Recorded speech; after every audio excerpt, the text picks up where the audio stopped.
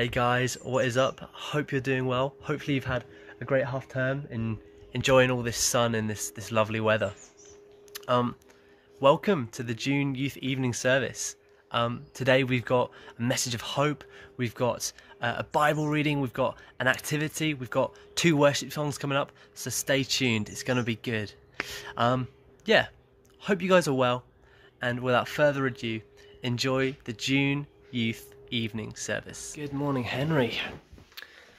4 p.m. Yep, that's uh, it's good enough time to wake up. Crazy thing is, this isn't this isn't even the latest I've got up. Oh, oh, hey Charlotte. Hello. How you doing? Good, thank you. And you? Yeah, I'm good. You enjoying the sun? Yeah, it's nice. It's warm. nice, that's what we like to see. So, um, I've got some good and bad news. Um, which one would you like first? Um, we'll go with the bad news.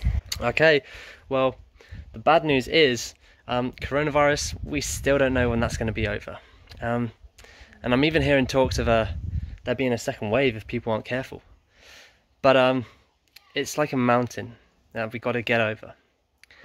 But um, hey, there's there's some good in it as well.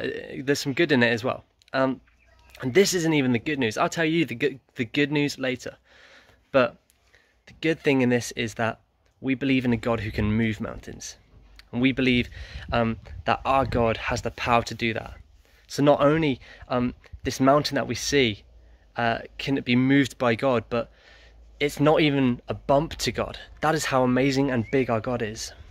And um, only God can move the mountains, and only God can heal our land. And we've got to hope and believe and pray that He will do that, because He will do that. So we've got to have that hope for the future. Hear I cry, O King of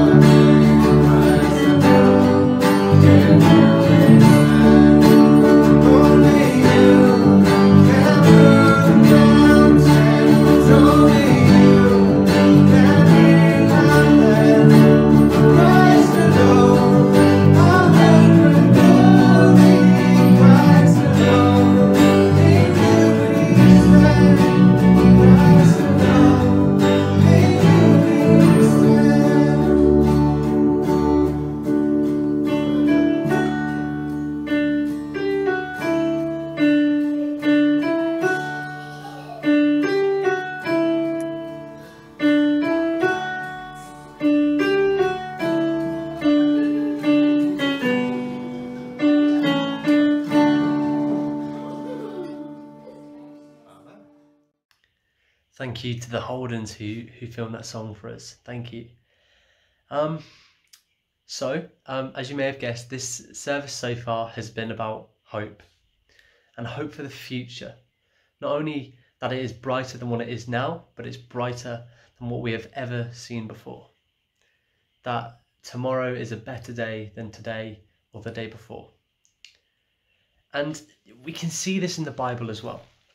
It's not just us who wants our day tomorrow to be better than today or yesterday. The disciples wanted it to. You see, um, when Jesus went to the grave, they waited a few days and Jesus rose, and they're like, Yes, Jesus is back. He's back. And then for 40 days he was around again. And then he ascended uh, in, an, in an event called the Ascension.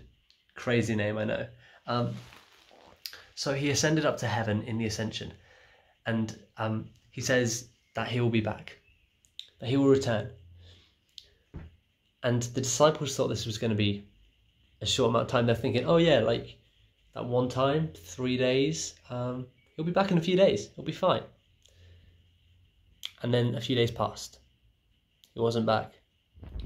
And they probably thought a few weeks. A few weeks passed and he wasn't back. They're thinking, okay, well, it's got to be a few months. He'll be back.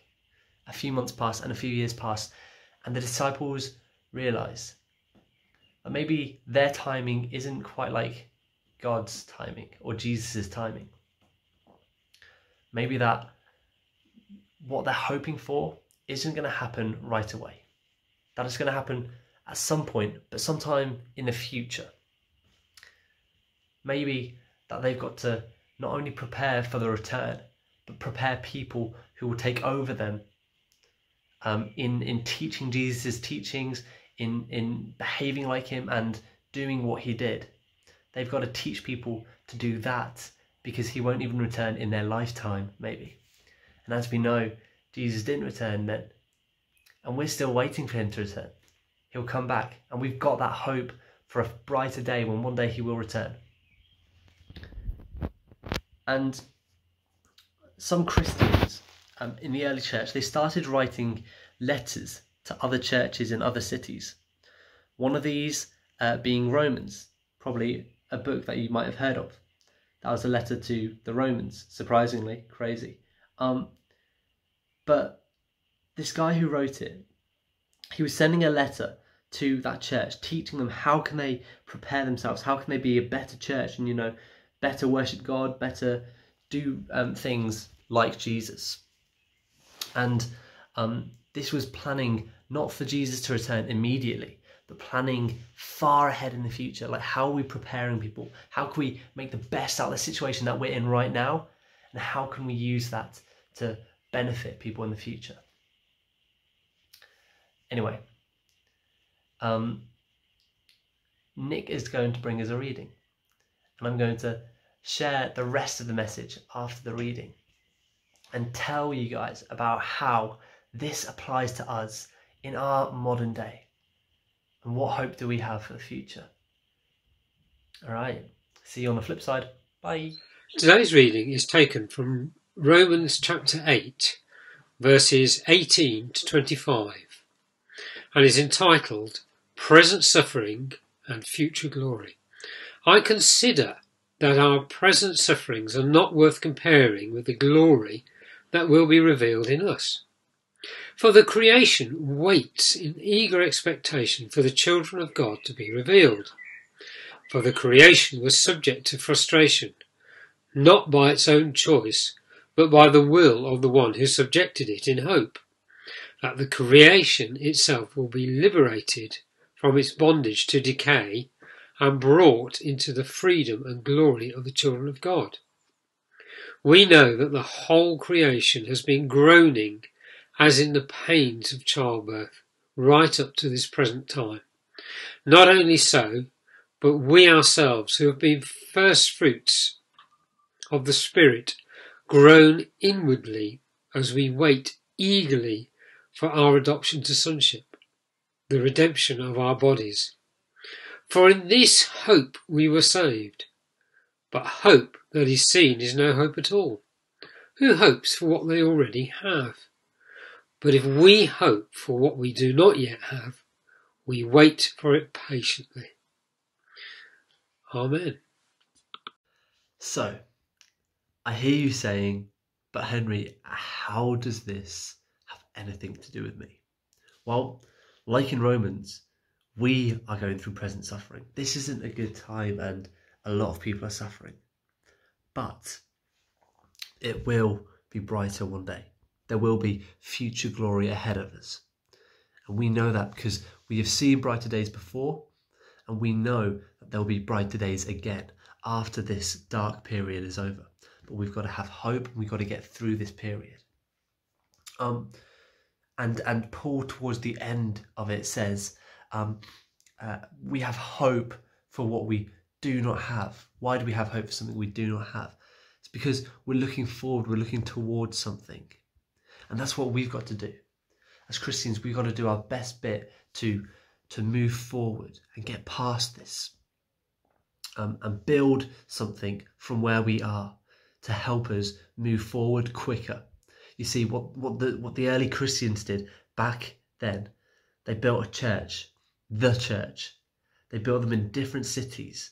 Christians were everywhere, but they were very, very uh, sparse. They were, they were just sort of here and there in cities. So you've got Romans, you've got um, in, in, in the town of Corinth, and, and that's what these books are. These books are letters to the church in that city.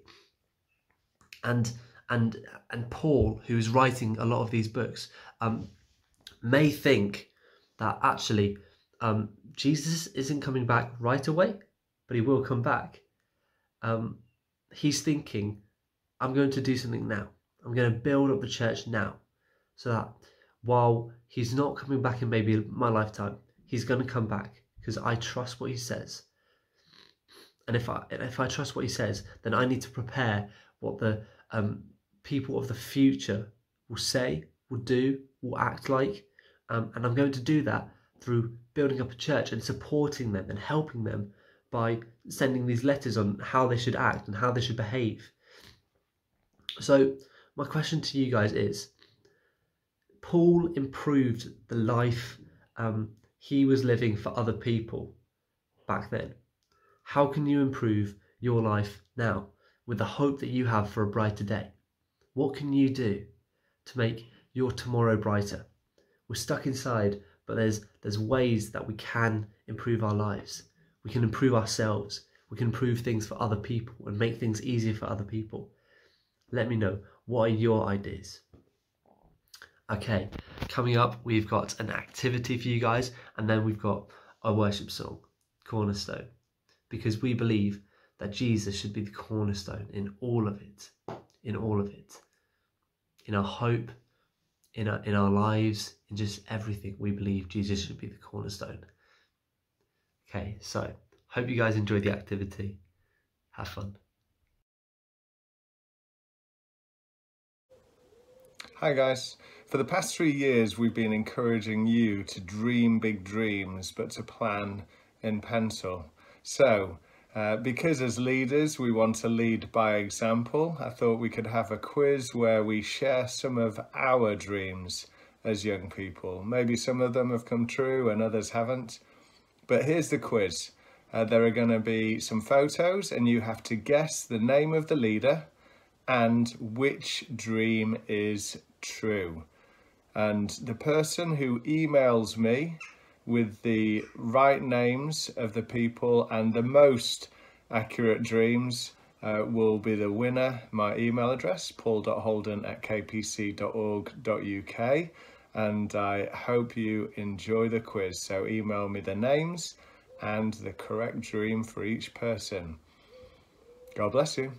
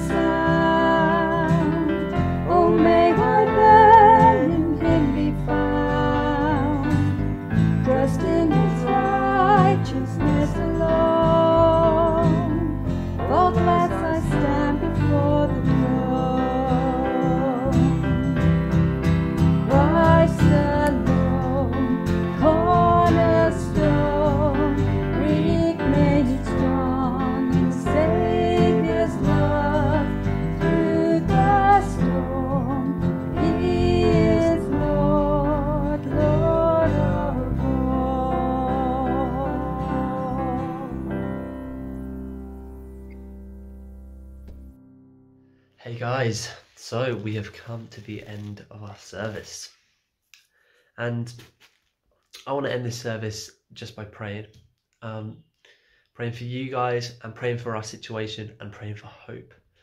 Um, so feel free to engage in this prayer how you want. Close your eyes or just bow your head or even say it in your hearts as, as we go along. Feel free to engage how you want. But I'm going to pray. Father God, I just thank you for every single one of these viewers, Lord. Just every single person behind this camera, Lord. I just thank you. I thank you that you're in the process of giving them hope and giving them inspiration, giving them ideas for how they can improve their lives, how they can see a brighter day tomorrow, how they can work towards that, how they can't be downtrodden by the present sufferings and the darkness in the world because you are with them, Lord because you are with them. I just ask that other people in our area, in our world, who are going through darkness right now and horrible things and horrible times and horrible persecution, Lord, I pray that they can see hope for a brighter tomorrow.